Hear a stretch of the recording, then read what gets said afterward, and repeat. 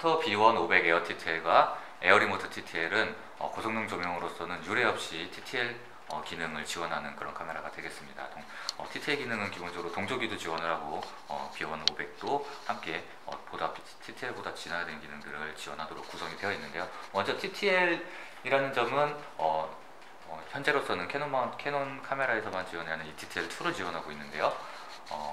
어, 카메라에 설정된 조- 뭐 조리개, 셔터 속도, 감도 같은 것들을 어, 동조기가 자동으로 파악을 하고 해당 광량 설정을 어, 조명으로 전달을 해주는 그런 방식이기 때문에 입문 사용자도 어, 상당히 편리하게 어, 조명을 이용할 수 있다는 것이 큰 특징이 되겠습니다. 어, TTL용은 뭐 일반적인 소형 speedlight 계열에서는 흔한 사양이지만 어, 이런 고성능 monolight 계열에서는 어, 상당히 볼- 보기 힘든 그런 기능이 되기 때문에 어, 상당히 편리한 촬영이 가능하고 물론 뭐 전문 촬영 일반적인 형태로 어, 수동 어, 조명을 이용할 수 있는 것도 당연히 지원이 되겠습니다.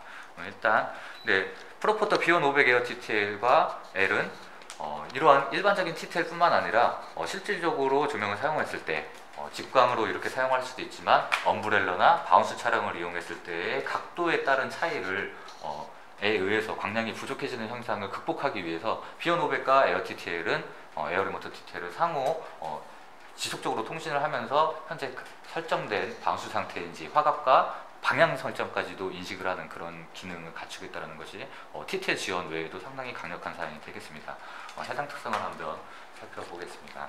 일단 현재 상태에서 어, 직광 상태에서 3.3의 어, 발광을 광량을 이용했습니다. 이 상태에서 천정 bounce를 이용하게 된다면 어, 보다 더 강한 광원으로 촬영이 돼야 되겠죠.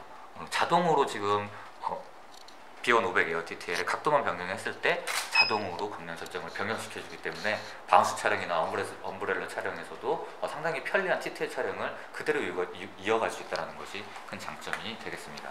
다시 직광 상태가 됐을 때 여타의 설정을 할 필요가 없이 바로 셔터 버튼만 누르게 되면은 자동으로 설정을 해주는 이런 기능을 어, 방향 설정을 지원하고 화각과 다양한 기능들을 만족하는 TTL 기능을 갖추고 있다는 점이 어, 상당히 돋보입니다.